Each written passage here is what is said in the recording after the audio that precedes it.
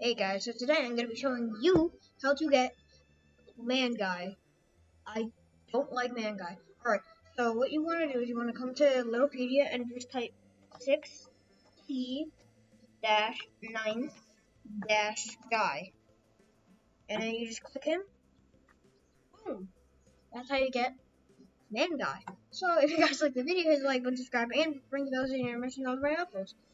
Um, you found this informative, uh, yeah, please leave a like and thank you so much for watching, and I'll see you guys in the next video. Good day slash night. Bye.